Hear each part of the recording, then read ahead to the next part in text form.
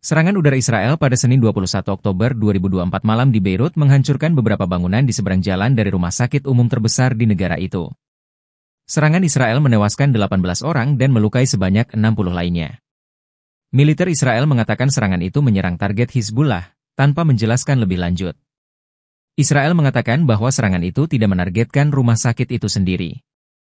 Reporter AP mengunjungi rumah sakit Universitas Rafiq Hariri pada hari Selasa.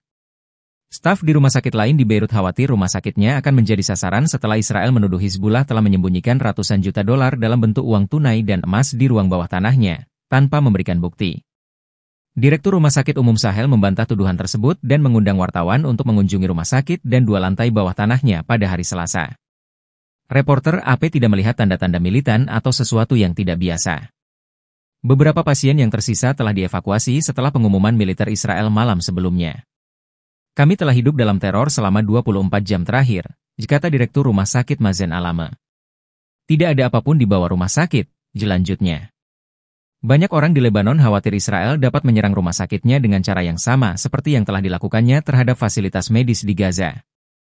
Sebagai informasi, militer Israel menuduh Hamas dan militan lainnya menggunakan rumah sakit untuk tujuan militer, tuduhan yang dibantah oleh staf medis.